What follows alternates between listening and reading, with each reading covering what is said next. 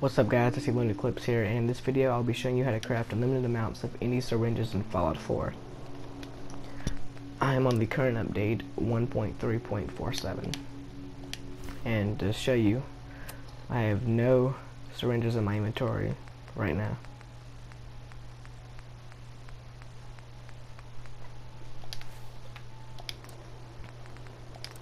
As you can see I have the requirements to make this one but not this one.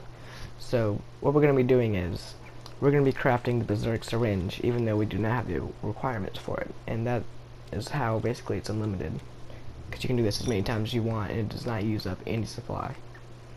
As you can see for this one I have fiberglass, I have one and I'm still going to have the exact same amount after I do this. So what you're going to want to do is actually you're going to want to click X to cook this and the second you do that you're going to you're going to want to hover up using the left joystick like this and you'll know if it works because at the bottom you can see it's hovering over Berserk the highlight and then but right here it says make bleed syringe even though that's not the one we're making. Click make. As you can see at the top left it says Berserk syringe added. Yes, yet I still have the same amount of supply for this.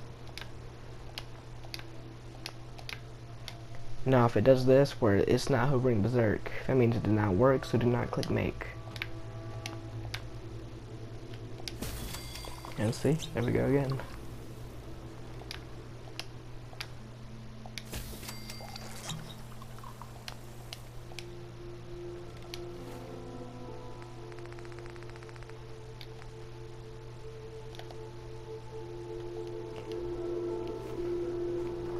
So I hope you guys found this video really helpful and please like and subscribe for more videos.